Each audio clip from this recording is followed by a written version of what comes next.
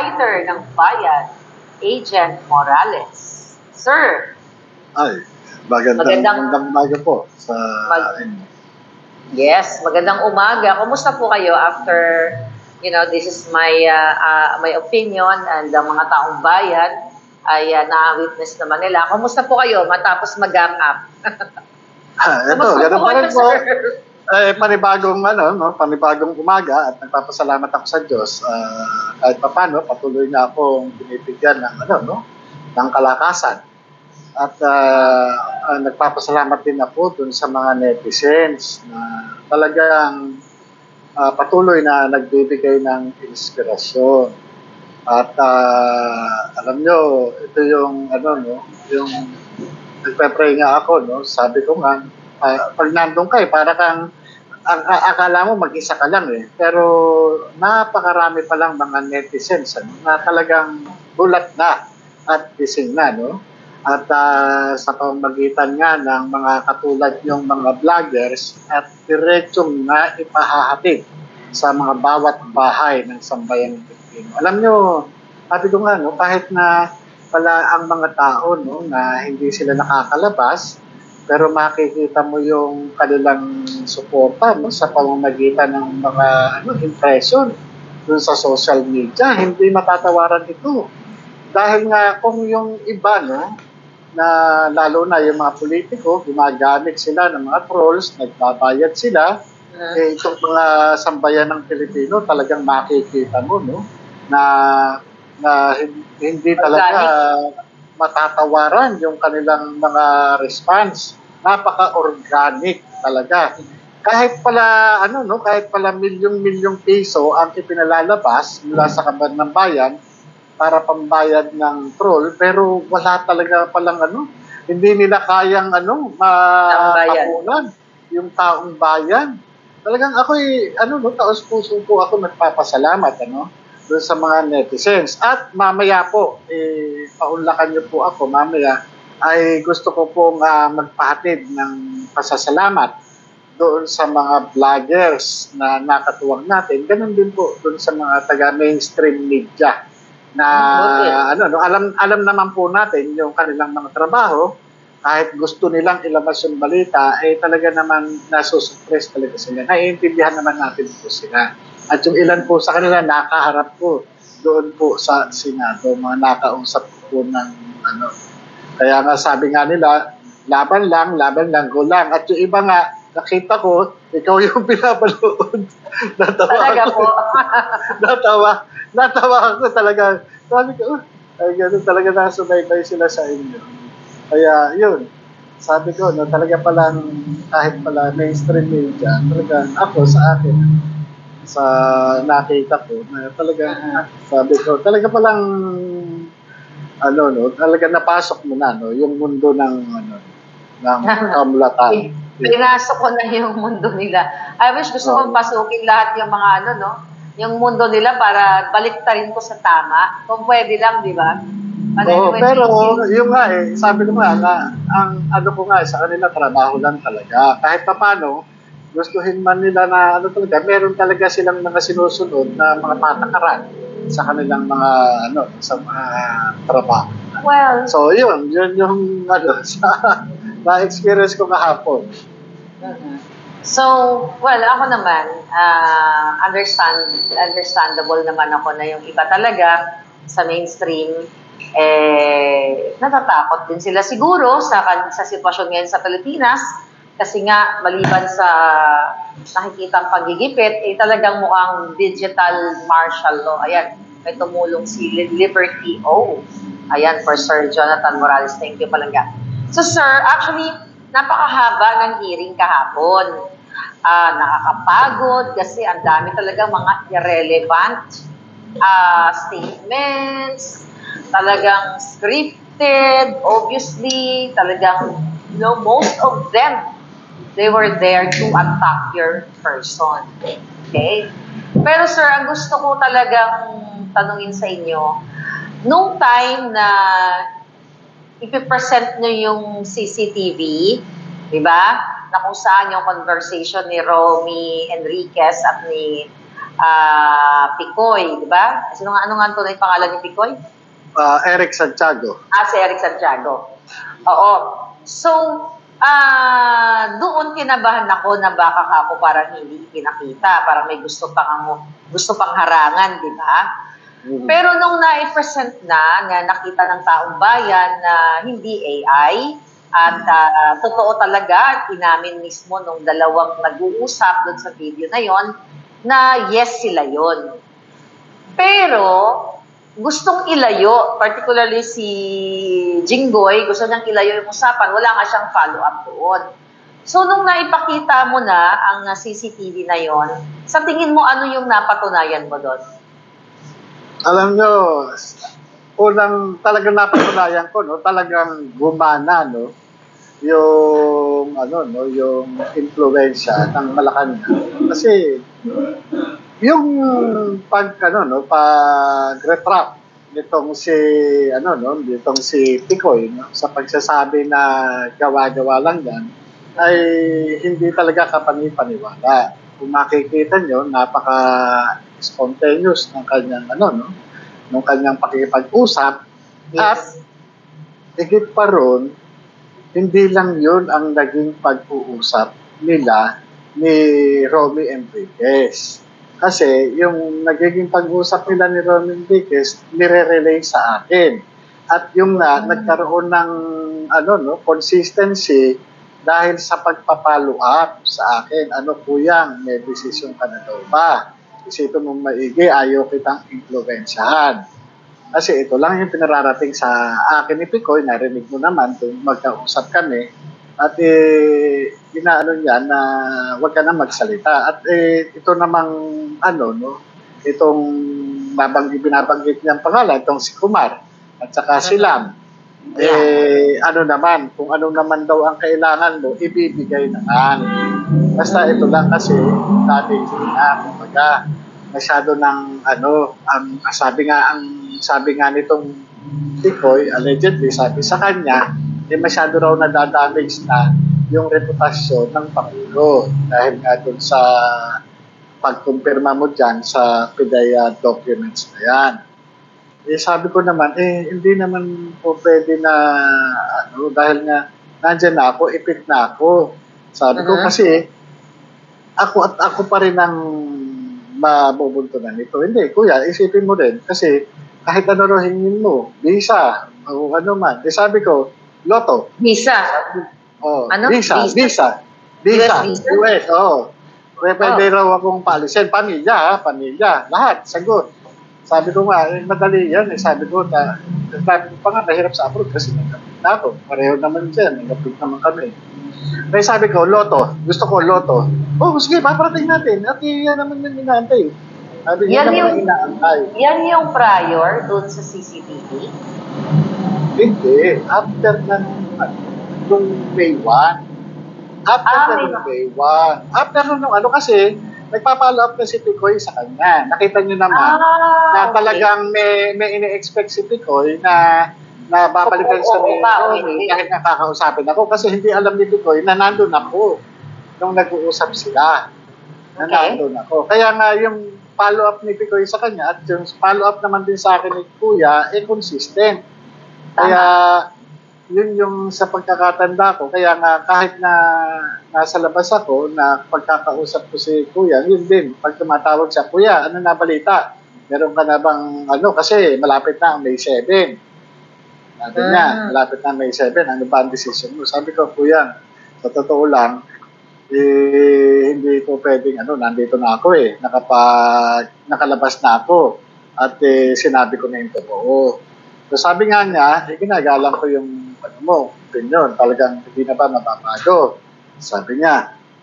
Sabi ko, hindi na, yun na lang.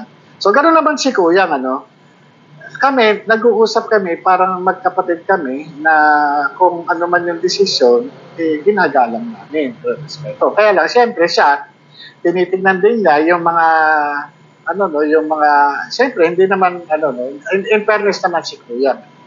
Siyempre, kahit na sino, no, may mga, may mga ano rin eh, na kahit pa paano, may alok na ganyan, o kung maging maging ano pa, no? Kung mag-materialize, di ba? Kahit pa yes. paano. Kasi kung mapapansin nyo doon sa video, merong nangangamoy director, di ba? Oo, oo, oo. So, Nang- sa, current, sa current position ni Kuya, hindi imposible na maging makamit niya yung directorial position kasi nag-acting director na siya sa PIDEA dati. Naging acting director yan ng PIDEA IAS. Mhm. Araw, panahon ni, hindi nagkakamali, panahon ni Gerald Santiago. Mhm. Kasi ano naman yan eh, ah, law graduate yan eh. Kaya, ano naman, ano. Kaya, yun naman, siyempre, tao lang si Kuya. Kahit ako, tao lang din eh. Operan mo ako ng gano'n, kahit papano.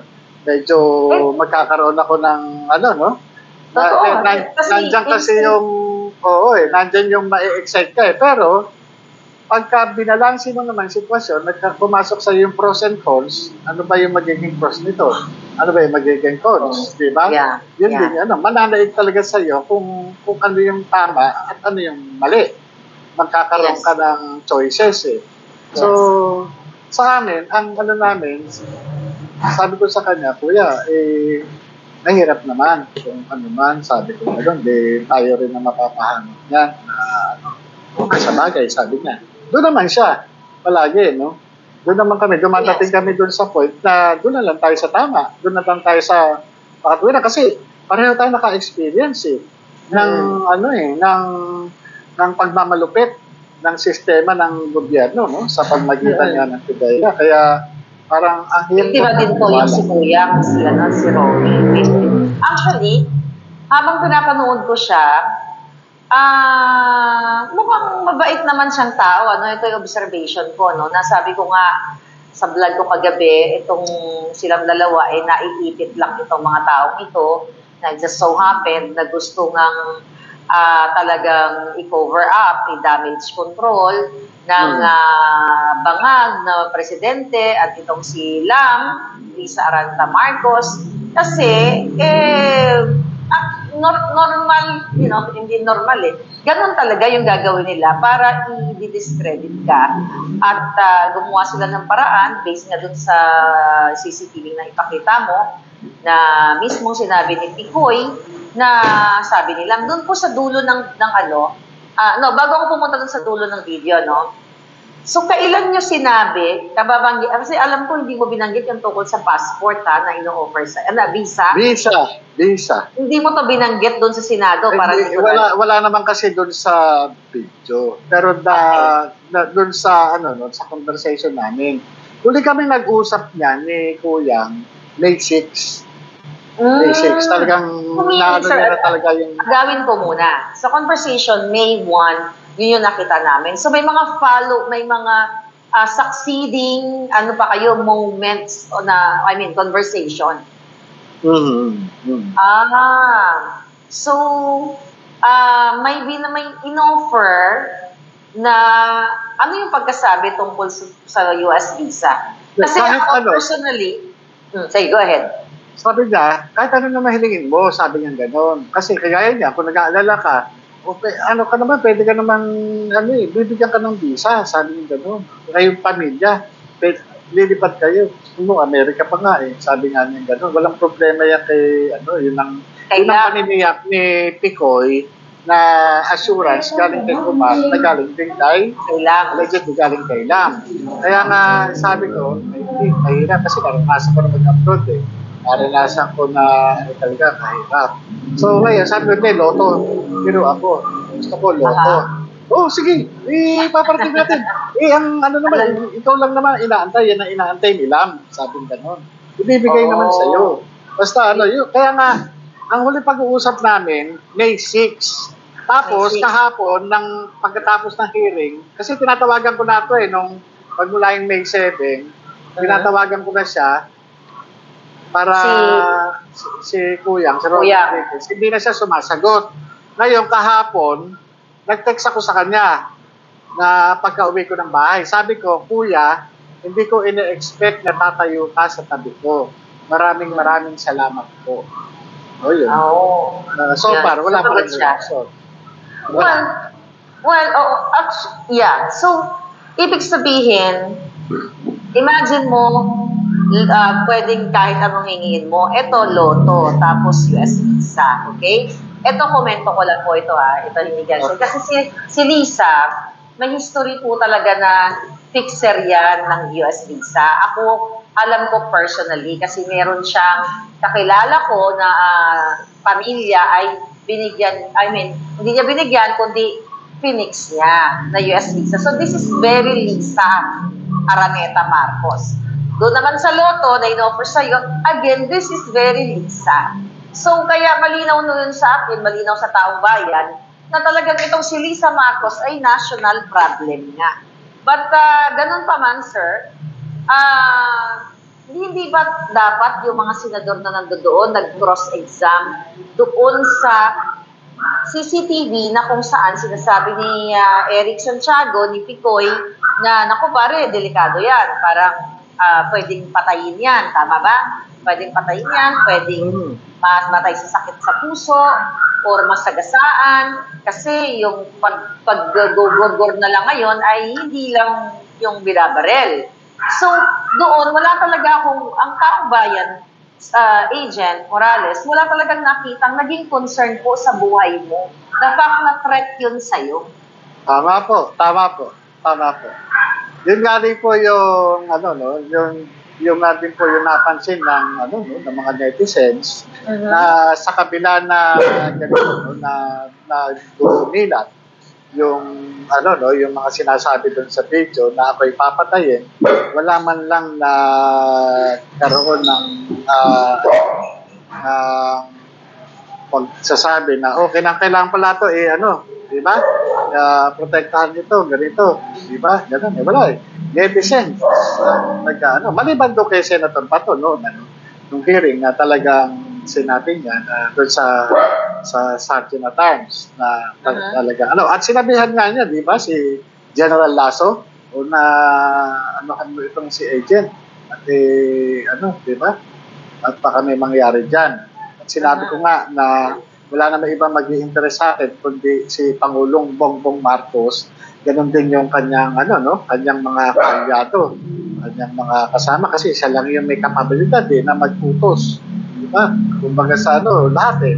Kung pwedeng yung iba dyan sumipsip sa kanya para para gawan ako ng masama. Ang tinano ko lang naman din, ano, tama naman din yung taong bayan, yung mga nakikita ko sa reaction ng netizens talaga, talagang sabi nga nila, pag kami nangyari dyan sa tao niyan, particular kay Agent Morales, si Pangulong Bongbong Marcos lang ang sisisihin namin at siya lang ang sisingilin namin. Yun ang sabi ng taong bayan. Yes. So, nakita ng mga netizens, ngayon nagko-comment nga sila eh, na talagang si Senator Jinggoy at iba pang senador doon, ano, ay talagang pinipigil na ma-expound or magkaroon ng ah, cross-exam dito kay Tikoy regarding doon sa CCTV at ni hindi man lang po na tanong yung involvement ni Kumar at sa kanila. Di ba? Tama? Opo, totoo po, totoo po.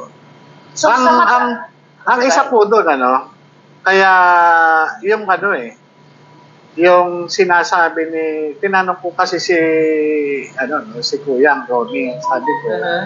kilala niyo ba talaga yung si Kumar? Oo, nakakaano namin, dati na namin kilala yan. Yan sabi Mhm. niya. Dati kasi may nilalapit kami dyan. Ngayon, nung bandang huli, hindi na, parang ina, hin- hindi na sila iniintindi. Pero Mhm. itong huli, bigla-bigla, yun na, yun, ayon kay Kuya, ano, bigla-bigla, eh, ni-reach out nga itong si Eric. Tikoy. Si Ni Eric Santiago. oo. So, eh, tungkol nga doon sa, ano, allegedly, sabi nga niya, eh, itong si Picoy, siyempre, kila, pinapahanap kung eh, kilala ako ni Mhm. Eric. Dahil nga itong si Eric, may kapatid na PIDEA agent. Okay. Yan nga, kaya kumbaga sa ano, yun yung, ano, sabi niya, oh, kilala ko yan. Kilala ko, pero kilala ko yung mas malapit dyan. Sabi niya, alam ko yung mas Ah. malapit dyan. Yung nga, itong si, ano. So, Si- yun yung dahilan, kaya tumawag siya kay Kaya, kaya, Ah. kaya yung sinasabi niya, nagawa-gawa lang, palusot lang yun. Sir, sabi niya, sabi niya, alam mo obviously naman eh, sabi nga eh, na-underestimate nila yung ano no, yung ah, kaka ah, kaisipan or ah, katalinuhan ng mga mamamayang Pilipino, ah, obviously, talaga nagsisinungaling siya kasi binabanggit doon niya na lang ah, yung pangalan nila, ang explanation niya doon ay kathang isip lang daw niya yun. Yung mga mga pinagsasabi niya doon sa CCTV at yung lang daw ay narinig niya lang sa YouTube. So alam mo, sabi ko, kung ako senador, contempt na po yun eh. Kulong na siya doon kung ako ang senador na mag assess sa kanya. So, ah nung narinig niyo yun, na sinasabi niya katang isip lang niya at sabi mo nga, nadudumilat ang ebidensya sa CCTV. Ano yung pumasok sa isip mo nung habang narinig mo siya na katang isip at tinetest lang niya, ah, ikaw, pero nung una, sabi niya, hindi siya aware na nanonood ka, pero tinetest kayong dalawa o ikaw, para siya ay makapag, ah, makapunta sa Senate. So yung mga ganong kasinungalingan. Ano yung, apa pinapakinggan mo siya? Anong pumapasok sa iyong isipan? Alam niyo, hindi na ako nagtatakan. Bago pa lang ako pumunta ng Senado kahapon. Ang ina-expect ko na talaga, eh, mag-iiba ng kwento. Una, ang isa pa nga sa inaasahan ko dyan, si Kuyang eh, na ano no na sasabihin nila na hindi totoo yan sasabihin nila na ano lang di ba? So oo pero nagkamali ako dahil nga itong si Kuya Romy Enriquez talagang pinanindigan niya. Sa bagay sa pagkakakilala ko naman talaga sa kanya importante sa kanya yung dignidad eh. Kahit na ano mangyari dignidad ang importante dyan sa mama na yan. At napaka ano oo eh yan ano hindi siya yung ipokritong tao sabi nga niya no? Hindi kumbaga sa ano sa pagka pagtagal ng pagkakasama namin pagka mali mali. Tama tama. Yun yung mga issues na ano namin eh. kumbaga sa ano ganun lang kami kaya kami nagkatagalan ng pagiging magkaibigan dahil meron kaming common denominator. Ngayon kay Eric naman na pagkakaganyan niya, talagang ito yung literal na ano eh, na jukebox na sinasabi Ah, ni ah. Pangulong Bongbong Marcos. Kasi nga, ito yung kanila, isa doon sa kanilang mga ano eh, no? action agent eh. Uutusan nila ito, pagka nagkabukingan, oh, hindi sila ikakanta. Ganun eh. Kumbaga sa ano, piling-pili, piling-pili yung mga lumalabas sa kanyang bibig. Kumbaga, kasi nakita naman natin yung kanyang aralin man natin yung ano no, yung kanyang mga sinasabi doon sa video, napaka-spontaneous ng kanyang ano, talagang siguradong sigurado siya sa tono ng kanyang pananalita niya. Kahit mga siguro psychologist, yung ano no, magtingin o mga psychiatrist man o kaya ipa ipa ano kami Polygraph. pa, pa hindi lang Polygraph.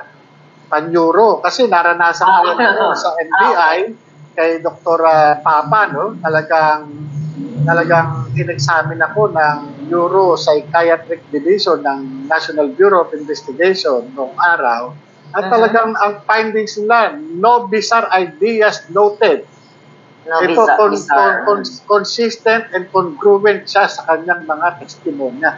Ganun ang Mhm. findings ng National Bureau of Investigation sa akin nung ako ay examinin nila. So, itong si Eric, yung makikita niya, makikita dyan yung kanyang, ano, no, yung kanyang kaisipan na kaya talaga niya yung ganyan. eh. Dahil hindi biro eh. Kasi kung ito, sa ayon kay, ano, no, kay kay Kuyang, kay Romy Enriquez, Mhm. nung nagkakausap kami bago ang May 7, ginabi talaga niya na meron itong si James Kumar at saka itong si Tikoy magkakilala talaga. Magkakilala at nagkakaroon ng pagtutulungan. Kaya hindi po pwede na yung sinasabi niya ay gawa-gawa lang. Talagang meron talagang ano, uh, transaction na naganap papunta sa akin. Yun nga yung negosasyon.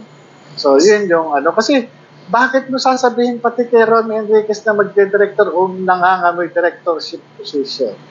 Oo. Ibig sabihin, ito yung pag mag-materialize, talagang ma-achieve mo kung ano yung ano, yung magiging provecho mo sa paglalapit sa akin, di ba?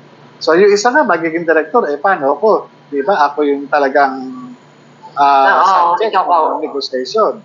Di ba? Yun yung ano. So, kung magkakilala si... Teka, si Eric Santiago, hindi mo siya kilala na, hindi mo siya kaibigan o nakasama mo siya in person? Hindi ko siya kaibigan, pero may natatandaan ako na dati pinatawag ako sa napupungan, humihingi siya ng, ano, no, ng, ng inputs patungkol doon sa iniimbestigahan nila na mga general sa narco-politics, na subject sa narco-politics, humihingi siya ng inputs. Ngayon, sabi ko sa sa kanya, eh, dahil siya lang pinag-iimbestiga sa legal kasi siya noon eh, sa INB ba yun? Tapos yun, ang may mga recommendation ako sa kanya na sabihin sa boss niya kung anong gagawin. Paano yung magiging flow ng investigation, paano nila ma, ma paano sila makakakuha ng ebidensya. Kasi nga Mm. sa sa ano, may mga pamamaraan kaming ginagawa eh sa ano no, sa PIDEA. Yun ang advice ko naman sa kanya. Nakaharap ko siya once. Mm. Oo, pero payat pa siya eh. Hindi pa yung Oo. ganyan yung katawan niya, oh. Payat So, pa. Ibig sabihin, hindi mo siya nakasama sa party, sa inuman, sa bakasyon. Ay, hindi, hindi, hindi. Hindi, Sa talaga. opisina lang, sa Napolcom. Sa Okay. Napolcom. oo. So, kasi may napinaw si Mr. Jason sa, no? Ang sabi ni Mr. Jason sa Happy Together, very nice picture. Kamukha ni Jingoy Estrada ay yung nasa kanan. Mamaya papakita ko sa iyo yung picture. Yung nasa kaliwa naman ay kamukha ni Mr. James Kumar. Yung nasa gitna, mukhang kamukha noong nagpakilalang alias Picoy kanina sa Senate hearing. So, ito yung picture. So, kasi medyo malabo doon si ano, Picoy. Okay? Yan ba si Picoy? Ayan, si Jinggoy, tsaka si Kumar eh. May semblance. May semblance. Okay. Oo, oo, oo. Kasi hindi ko ma... Hindi ko... Oh, isa ba to? Mga palangga, can you confirm? Ayan. Oo, Yan. May semblance, may semblance. Makikita mo Ah. naman yung mata eh. Yung mata niya. Ngayon, nalabanan siya eh. Siguro dahil na walang Ay, ginagawa. sorry. Oo. Ah, May okay. semblance. So, yeah, may magko-confirm ba na kamukha niya? So anyway, doon po sa video na yun, kasi ito yung gusto kong i-highlight dahil ayaw nilang i-highlight doon sa Senado. Doon sa pinakadulo ng video na sinasabi ni, ni ah, Romy Santiago, yung naka-green, pare, sabi niya ganun, sabi ni sila. At, di ba parang, ah, So, nag, ano, yung- na, gano'n, nakikita naman sa video. Oh, nag, ano Kita sa video, siya. sabi, sila. sabi ni Silam, sabi, parang ganun, si Silam, Kumar. Tapos sabi ni Picoy o si Eric Santiago, sabi niya, parang gumanon siya. O pare, parang ganun. Nakita niyo ba yon? May reaction, oh, So- may reaction. Oh, may reaction na parang parang sekreto. I don't know kung may kanta, may ano siya, may uh, katabi siya doon. Kasi di ba, doon sa unang conversation, nung first part doon na, pare, wag tayo magbabanggit ng pangalan. Pangalan. Pero nabanggit pa rin. binanggit. Oo. Binanggit ilang beses, di ba? Mm-hmm. So, so talagang ah, nakita ng, ng mamamayang Pilipino, ng netizens na ah, majority ng mga senador, eh mukhang ayaw talaga nila banggitin si Lisa Araneta Marcos at si Kumar. Dahil nga, eh, obviously, may pinagtatakpan sila. Di ba? So, ah naging, kasi talagang nakita po namin, ano eh, ang sabi niya, ang iba, pinawawa ka, nag up ka. Pero ang sabi ko naman, ah kagabi, sabi ko, actually talagang naipakita mo yung nag-stand tall ka doon, naging, I mean, naging maganda yung iyong demeanor. Ah, kahit inaapi ka nila, sabi, ang, ang statement ko nga eh, ah, yung mga binabato sa'yo, mga watusi eh. Pero yung sa'yo, talagang bonggang-bongga, kumbaga, explosion talaga. Particularly, nung sinabi mo kay Jinggoy na, kasi ayaw ka niyang tigilan, okay sir? Actually, ayaw ko na sanang ulit-ulit kasi time wasting. Nakita naman ng taong bayan na unang hearing pa lang nandun si Estrada. Talagang ang atake niya sa'yo is very personal. Pero nung kinukulit ka niya about your PDS, ayaw ka niyang tigilan sa iyong PDS. Then, ang sinabi mo doon, mahinahon, sabi mo pa nga, buting senator, sabi niya, eh, ano ba sinabi mo doon nung una? Nung Ah, irrelevant. Sabi ko, Irrelevant? irrelevant. Oo, irrelevant doon sa issue kasi ang pinag-uusapan, PIDEA leaks. Patungkol Mm. doon sa mga dokumento na lumabas. Sa salaman. Yun, yun yung ano eh. Tapos sabi nga niya na talagang ayaw niya akong ano, no, lubayan din Ayaw kang tantanan.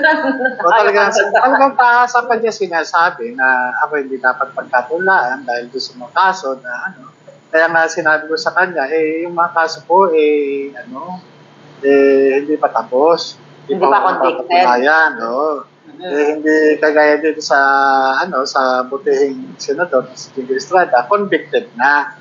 Oo. Ah, yun yung ano. Tapos tinanong pa niya ako na ah, sinabi ko daw na ako siya daw ay hindi, Magaling na Ano? investigador.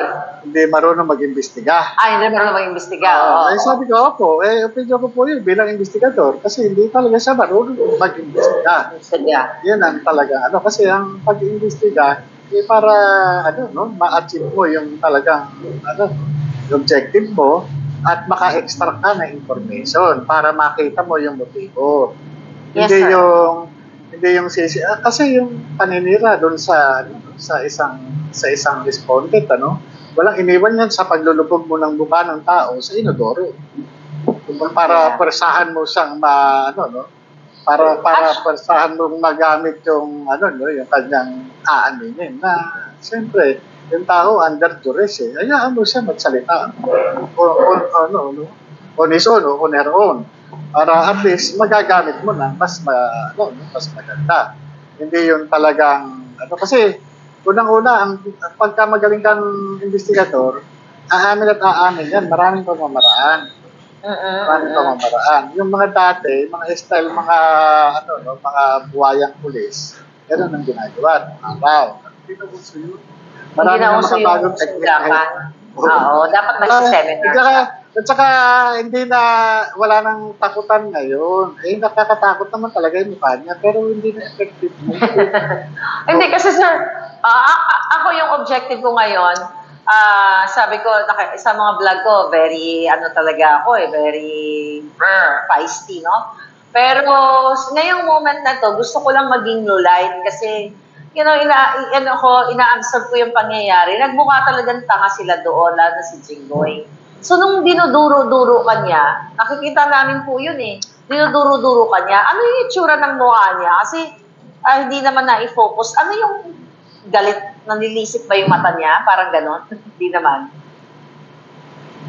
Kasi gumaganon siya sa... Ang sabi ko kasi sa'yo, namumula yung, namumula yung mata niya. Talagang, ang pakiramdam ko nga talaga, kung wala lang siguro, ano, mga camera din, baka nasuntok niya ako.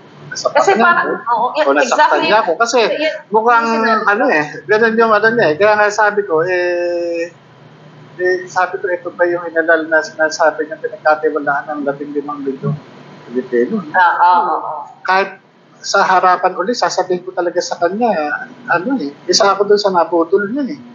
Dahil ako Oo. nagtiwala din ako sa Binoto niya ba siya? Oo, senator? binoto ko siya. Oo, Kasi nga. Dahil nga akala ko na talagang ipaglalaban niya yung karapatan ng mas ng maliliit ano? Dahil nga sinasabi Masa nga yung nila, dating eh. yung pangmasa no? Parang ano para sa mahirap ano? Pero Oo. nagkamali ako kasi nga unang-una hindi ano eh, sa, sa ginagawa pa lang niya no? Hindi niya gustong ma-achieve yung ano no? Yung katotohanan. Kundi ang gusto niya ipagtanggol yung ano no, yung nasa Malacanang. Kita-kita naman hindi naman kinakailangan mag-aral tayo ng elementarya o ng sekundarya para makaunawa ng mga ganong sitwasyon. Kahit mga hindi nakatungtong ng, ng eskwela dahil sa kahirapan, ay maiintindihan yung gesture niya. Hindi hindi Yeah. ano no, hindi hindi sapat o dahilan na na na ang tao ay nagtamo ng pagtitiwala ng milyong-milyong ah, ah, Pilipino para na lang bang alipusta ng isang walang laban sa kanya. Ang tao, mas nagkakaroon ka ng kapangyarihan, mas dapat bumababa ka sa iyong luklukan. Dapat naaabot ka ng maliliit sa lipunan. Di ba? Hindi ganun eh. Ak- Eh. yung sa akin, sa experience ko, no, kung Mhm. ako yung yung isang ganyan, mas lalo akong lalapit sa tao. Aalamin ko kung ano yung mga kahinaan ng mga ito. Hindi kalakasan. Kahinaan ang tutuklasin ko sa mga ito kung papaano ko sila matutulungan. Hindi yung mga malalaki doon sa likod ko. Hindi yun eh. Nandito ako para sa taong bayan. Dapat ganun. Yeah. Ah, sir, doon sa nung binanggit mo yon na ikaw ay siya convicted na siya, nag, talaga nakita ko, nakita ng taong bayan, nagwala siya doon eh. Galit na galit siya at wag daw, wag mo daw pakialaman yung case niya. Sikasuin mo na yung kaso mo. Alam niyo, Alam na, niyo, nakakatawa na lang talaga eh. alam niyo, natawa nga ako doon sa netizen. Nag, alam mo, yung netizen ang nagre-react talaga eh, sa totoo lang eh. Ang netizen talaga ang nagre-react. Ano. Sabi nga, eh, yung kaso nga ni Morales, pinakikialaman mo, tapos yung sa'yo, ayaw mo. Ayaw. Dapat na taong ano siya. Oo eh. Para bang, ang gusto niya, Mm-hmm. alam nyo, parang na, na, na, naalala ko yung ano eh, no, yung pelikula ni Paquito Diaz at saka ni Fernando Po Jr. Gusto niya, nakatali lang si Fernando Po Jr., binubugbog niya. Di ba? Parang ganun eh. Ganun ang mga kontrabida eh.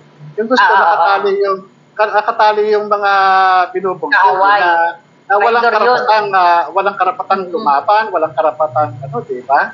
Sa sa nakikita ng taong bayan, talagang nagmamanifest ano yung ano no yung yung pag-aabuso sa kapangyarihan pag-aabuso Yeah. sa kasalukuyang kalagayan biruin mo sino ba ako meron ba akong ano meron ba akong ah, ah, sasakyang bulletproof meron ba akong ah, mansyon meron ba akong kapangyarihan meron ba akong influensya sa Malacanang wala isang isang ano no isang karaniwang ahente na tinanggal isang karaniwang ahente lamang na nakakaintindi sa sa ano no, kalagayan ng mga inaating mga tao sa lipunan. Mm. Ganun lamang po ako eh. Wala naman po ako ipagmamalaki. Ang kaya ko lang ipagmalaki ay yung aking personal na kaalaman patungkol dito sa aking ano no, tinatayuan at pinaninindigan doon sa investigasyon sa Senado.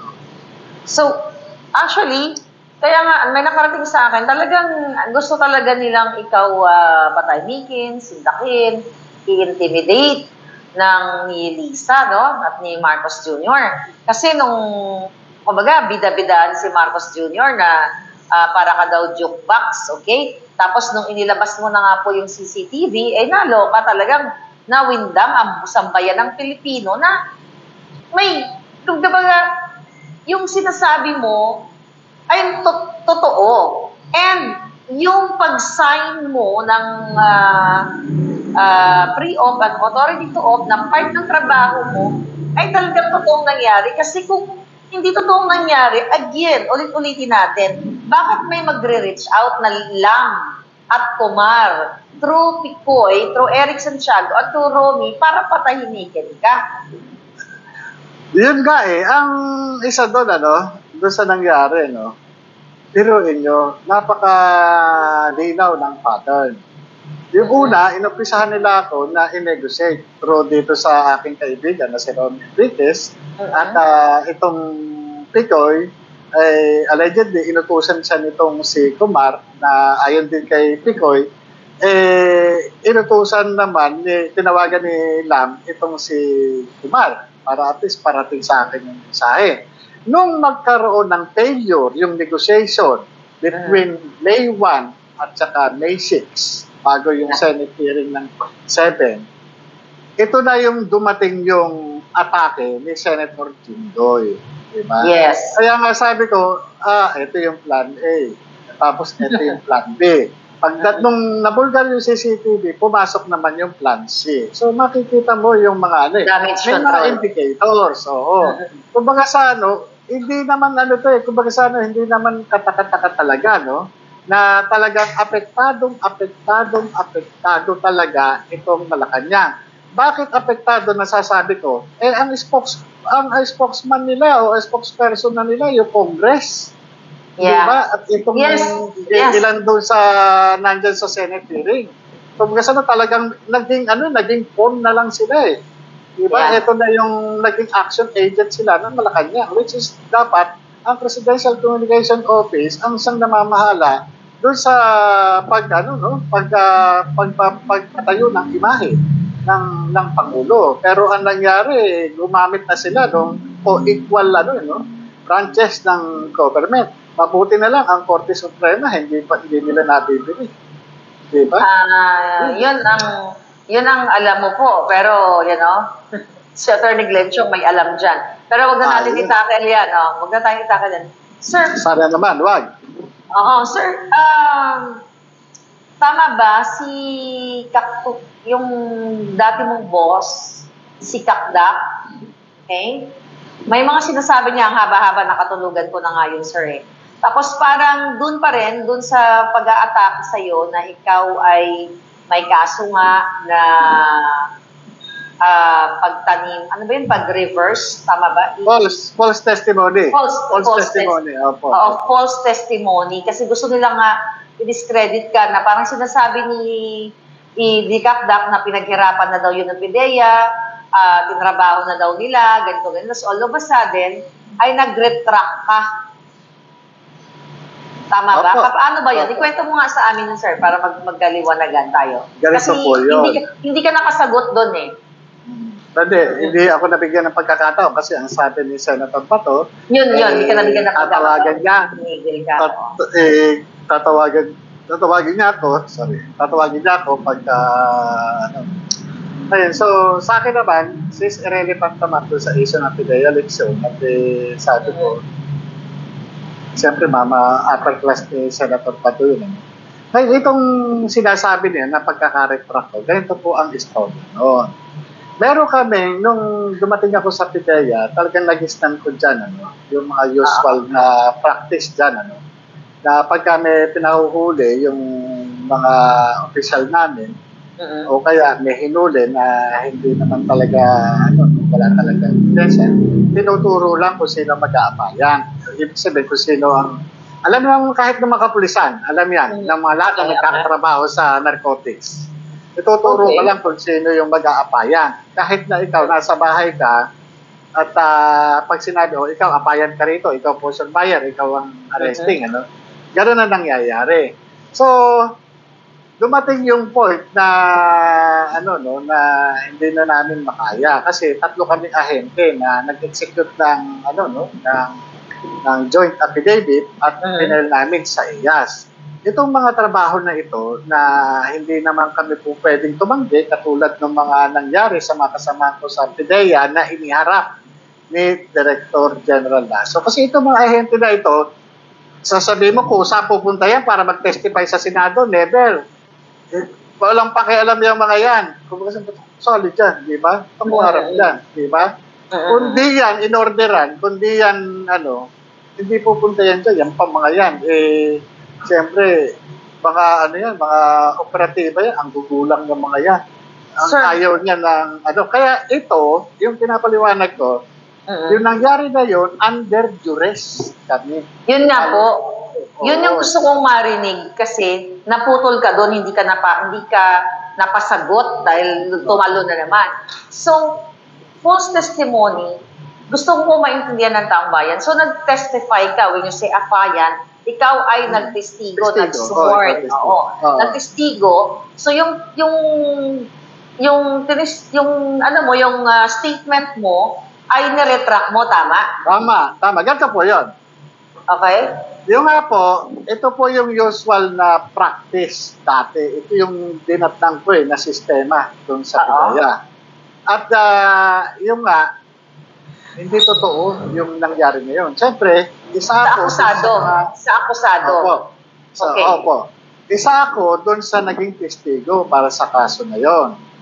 Ngayon, biruin nyo. Nakikita mo yung mga, yung anak, yung asawa, na nakakulong yung, yung, yung asawa nila, na alam mo naman sa sarili mo na walang kasalanan. At nung time na yon na kinasuhan nyo sila, wala ka rin magawa doon sa PIDEA kasi nga sumusunod ka lang eh. Sumusunod ka lang doon sa mga opisyalis mo. Agamin kita saglit. So, yung pag-testify mo na doon sa akusado na yun, maaari ko bang sabihin na pinuwersa ka? Yes. institusyon? Technically, pwersado. Bakit? Pag tumanggi ka at ikaw yung naatasan mag-apayan o tumistigo dyan sa kaso na yan, pag tumanggi ka, goodbye PIDEA ka. Tatanggalin kita pwesto. Oo, gagawan ka ng kaso. Gagawan ka ng kaso. So, O kaya, itatapon ka sa malalayang lugar. Gagawin ka ng kaso. Hindi. Yung ang taong walang kasalanan, nakakasuhan, ikaw pang tatangitin. Sige nga, Oh yung God. mga wala nga kasalanan, nakakasuhan eh. natataniman ng kaso, ikaw pa na, alam na alam mo yung mangyayari sa'yo. Kasi nga, ginagawa eh, sistema doon. So, Sistema. Ngayon, di nakakulong siya, yung tao. Nakulong, nakakulong yung mga tao na yan. Every time na nag-hearing ka, nandun kare-kare nung, nung asawa yung maliit na anak. Yung isa, bago pa lang lumalakad. oo. Kung ikaw tao, mababasag yung puso mo eh. Tapos alam mo sa sarili mo na walang kasalanan dito.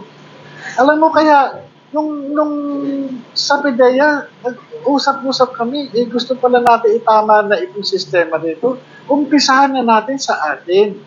Kaya ang ginawa namin, yung dalawang kasama ko na ahente, nag-file kami ng reklamo sa PIDEA IAS at sinabi namin doon, isinuwalat namin sa kanila kung ano yung nangyayari. Mm. Ang system ganito, yung dalawa, tinakot-takot ng administrasyon. Yung dalawang sama nyo na nag-testify. Opo, oo. Okay. Ngayon ako, sabi ko nga, ako nakita nyo naman, ano, yung pattern. Dumadating sa akin yung point talaga, yung pagsasabi ng katotohanan at dun sa pag, ano, no, pagtatanggi. Pero mas nananaig Mhm. yung pagkiling ko dun sa katotohanan. Alam nyo, ang, ang naging panuntunan ko na lang, teka muna, alagad ako ng batas. Para saan ba ako? Para sa pagtatakip ng katotohanan o sa paglaban sa katotohanan?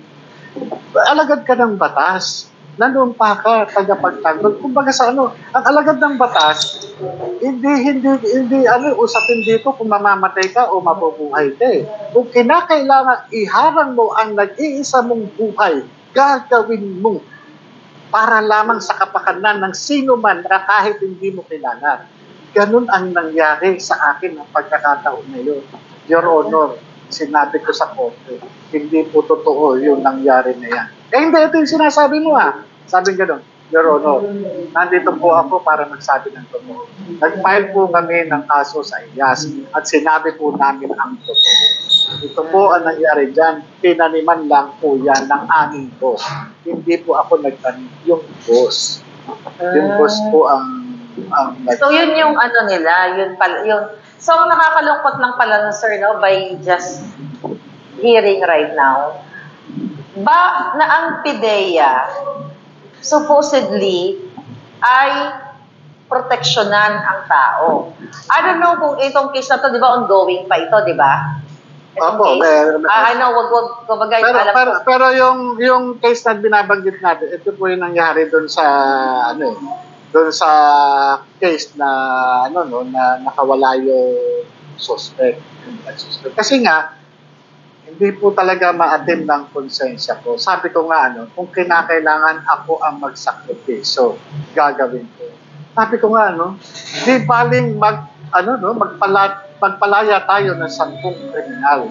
Huwag lang tayo magpapakulong ng isang tao. Wala naman kasalanan. Di ba? Wow. Pero mo kriminal. Di ba binibigyan nga natin ng pardon yan? Di ba? Binibigyan ng pardon Oo. yan. May kasalanan talaga, convicted na yan.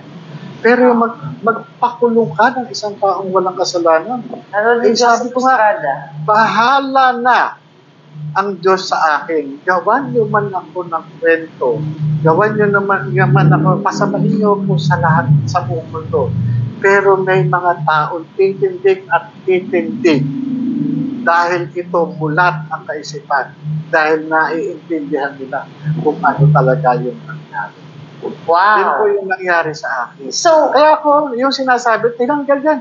Hindi po ako nahihiya. Kasi bilang pag, pagiging alagad ko ng batas, yun po yung isa sa pinaka maipamamana ko sa aking mga anak, sa aking mga apo. Na ginawa ko yung aking katungkulan bilang alagad ng batas, pinalaya ko itong taong walang kasalanan kahit ang kapalit yung aking Karir niyo. buhay. Karir niyo at career niyo. Wow. Kaya nga nung nakikinig po kami ng hearing, like ako, no, na sinasabi mo, under duress ka, gusto ko maintindihan. Pero hindi ka binigyan ng chance na para maipaliwanag. So, I'm glad ngayon na ipapaliwanag mo. Ang nakakalungkot lang, na ganun pala ang sistema na i- kayo yung mga kayo yung mga lingkod bayan or ah, alagad ng batas So, ibig sabihin, sistema ito na kapag inutusan ka ng director mo o ng ganito, o ikaw, magtestigo ka laban dito. Kahit, kahit wala kang personal knowledge. Nangyayari po yan. Alam po yan ng God. mga kahit saang ah, law enforcement ah, units. Ano, alam nila yan. Na, Bakit ginagawa nila? Bakit ginagawa ito? Ganito po yan. Ano? May mga ano po talaga no.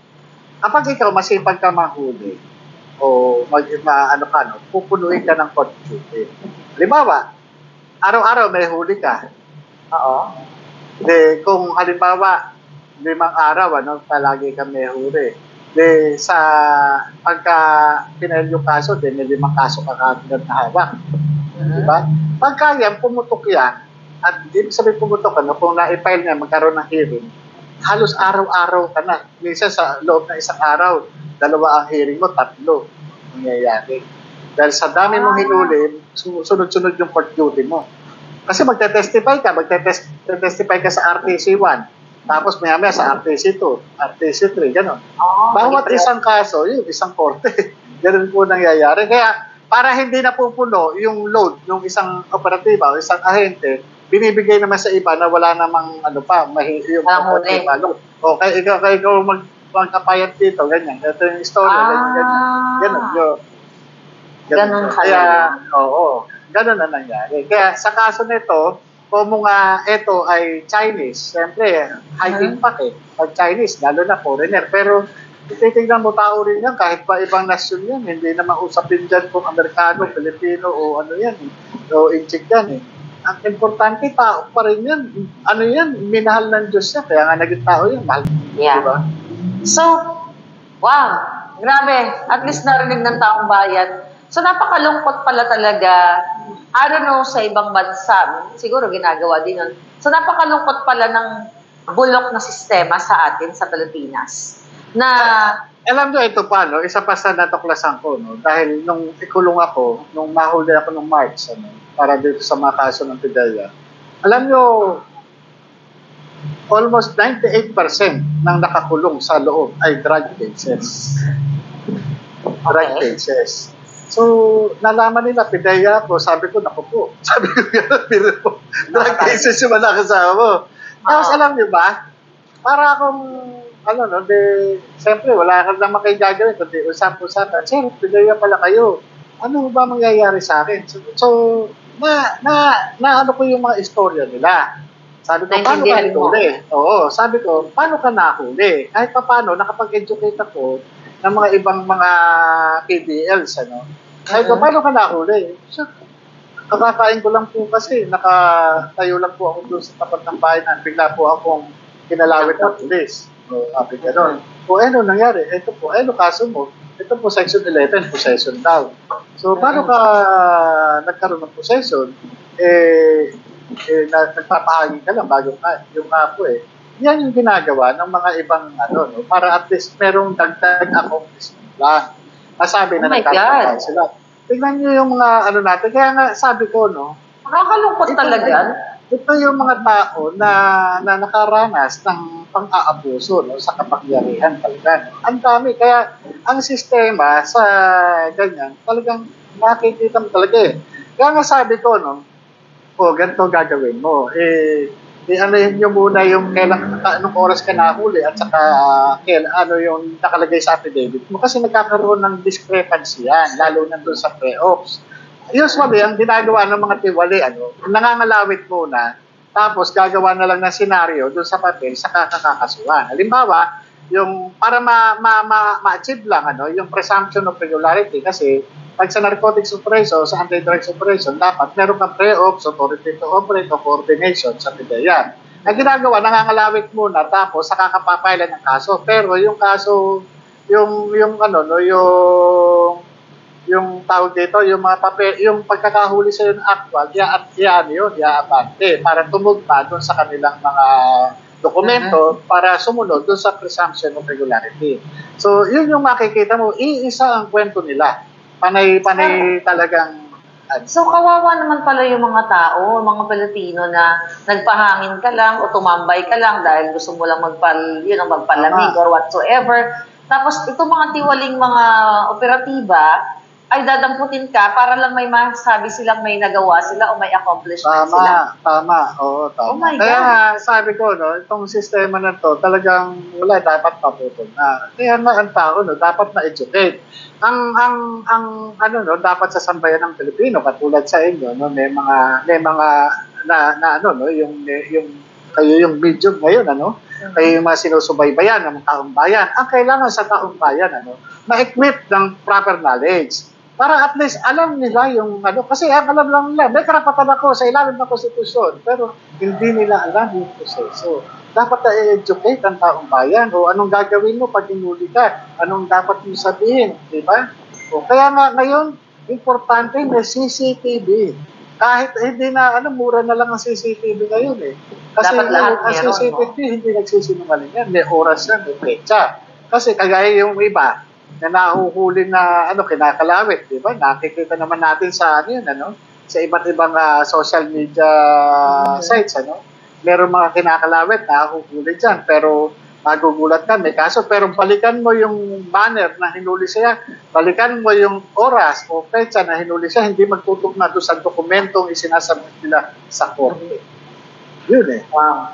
So, itong sinasabi ni Kakdak na dinidiin ka at ni Jinggoy na ikaw ay masamang tao kasi meron kang false testimony ano case, nilingid sa kalaman ng tao ay naretract mo dahil hindi nakayanan ng konsensya mo na makulong ang isang taong inosente. Tama. Dahil wala naman talagang katotohanan yung pagkakakulong niya. Yung, yung kaso na, ano, dahil ito, eh, ginamit lang yung mga ahente sa dikta ng opisina kasi may pananako. Meron talaga mag, masamang mangyayari pag tumanggi ka. Yung mga inchik na nga, yung mga ano nakakasuhan, yung pa hindi kayang gawin sa'yo, tao ko lang din. Opisina ang kalaban mo, institusyon. Institusyon ang kalaban mo. Pag hindi ka sumunod, meron kang kapupuntahan. Di ba nga, si Atty. Delgado na nga lang, dinibdiban eh, kanakasuhan ka eh. Ah. Abogado yun, ha?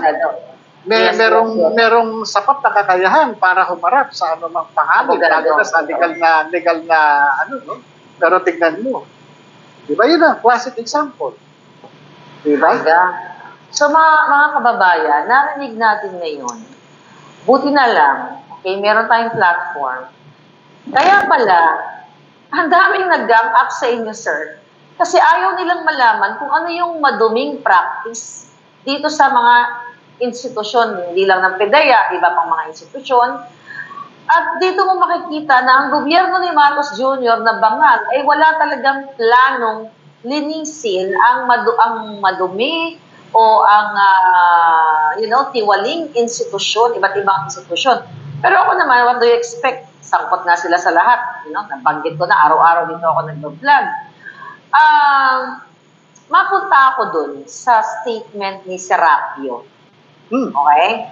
Si Serapio na ang pagkahaba-haba ng mga statement na inamin niya na ikaw ay tinatawag nga niya. Pero ang parang sinasabi niya doon, it's not about na pigilin itong pre, itong uh, supposedly o yung na, ang naudlot na raid para kay Marcos Jr. I-correct niyo ako kung mali yung pagkakaalala ko, di ba? So, doon, another confirmation na pinatawag ka niya. Opo. Yung sinasabi nga po ni Gerald Santiago na ang yabang ko na bakit ako ipatatawag sa Malacan. Yes, hindi ko nga yes, rin po yes. alam eh. Kaya nga po, Oo. eto no, ah, hindi ko muna masyadong ah, sasagutin o elaborate yung tungkol dito sa ano. Kasi meron pa ako inaantay si Executive Secretary Paquito Ochoa. Okay. Y- yun, yun po yung inaantay. Kasi, antay muna natin para hindi ma-preempt yung kanilang Um, yung kanilang, yung kanilang script. Opo, eh, para naman mabigyan natin ng pagkakataon silang makapaghanda kung ano sasabihin nila, yun po yung ano. Okay. So, ah I know may, ah, may, may katanungan. Anong oras na po ba dyan sa I know mayroon din kayong interview, no? Kaila, Kalo, kaila Dr. Ray. Ah, anong oras na ba? 10.42 po. 10:42. At 10.42. Sige, 5 minutes na lang tayo. Ito, um, ah, may interview, abangan nyo si, ano, si AJM kila Ay. Doc Lorraine. Ah, may katanungan lang si, ito, ito, ito. Ah, grabe. Ayun. Ito po ang katanungan. Sige, sagutin niyo muna yan. Nananap ko lang yung question dito ni Opo. Ay, siguro habang inaantay nyo yung tanong. Okay. Pero akong gustong pasalamatan. Ah, sige, magpasalamat muna kayo dyan. Go. Alam niyo po, dito po sa nangyari sa akin, ano, akala nga namin ng pamilya ko na mag-isa lang talaga ako na, na dito, no, na lalabas doon sa Mhm. Senado. Bagamat wala akong literal na kasamahan o ano, no, na katabi ko sa upuan o sa pagsasalita. Pero talagang naramdaman ko eh, nakita ko no, yung pagmamalasakit ng mga tao. Sabi nga no, ito yung ito lang yung gusto ko ma maipaabot sa inyo no, yung pasasalamat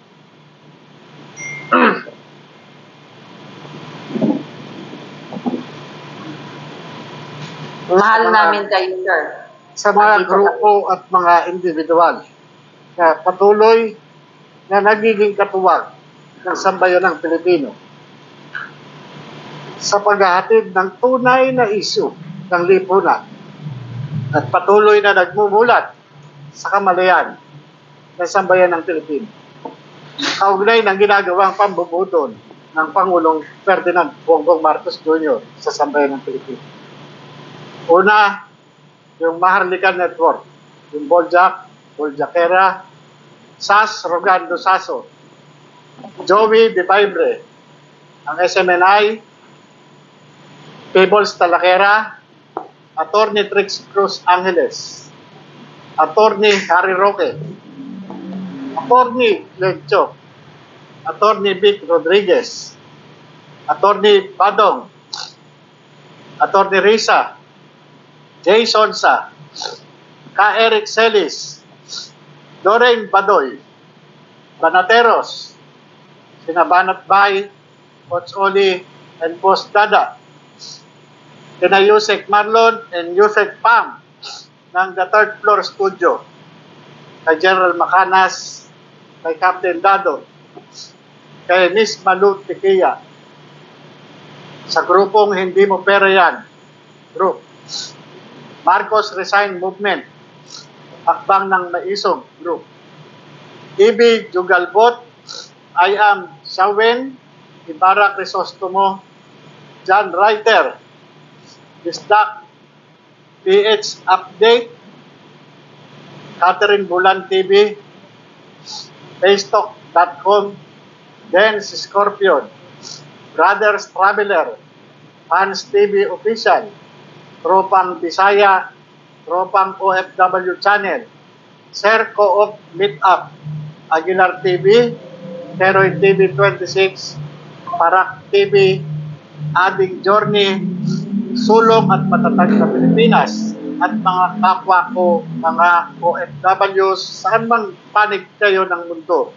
At sa lahat po ng mga vloggers na hindi ko nabanggit, ganun din po sa mainstream media.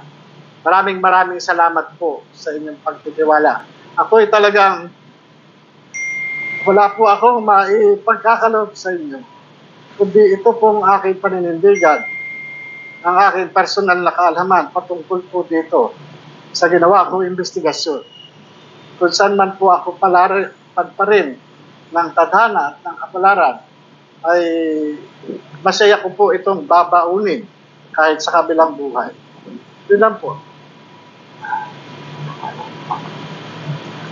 Ah, JM, ah, nandito po kami sa inyo na ako, hanggat, sabi ko nga, hanggang humihinga po ako katulad ninyo. Pareho tayo ng sitwasyon, ginigipit, sinusubukang itumba, may mga banta sa buhay. Ah, asahan niyo po, hindi namin kayo iiwan, sir. Ganon din po. Baka makalimutan ko din po yung yung si Miss Cam, yung kanyang ano no, yung kanyang ah, whistleblower ah, foundation na nagpapahatid ng tulong sa magitan ng kanyang mga ano no. Kaya ako po, yung, yung pong ginagawa nyo sa akin, na doon pa lang, doon sa mga impression ninyo, no? Doon sa mga sa mga inspirasyon na pinagkakaloob nyo, na nababasa ko, nababasa ng aming pamilya. Napakalaking bagay po nito. Parang ito na po yung nagbi, nagsisilbing kalakasan sa amin. Ito na po yung nagsisilbing hininga para sa amin. Dahil alam ko po, itong kalagayan ko na to talagang napaka imposible na malampasan. Pero naniniwala ako na sa pamagitan ng Diyos at ng sambayan ng Pilipino, malalampasan ko po ito, malalampasan po natin lahat. Yes, sir. Pasensya na po Ah. kayo kung nagiging ma- ano lang po ako.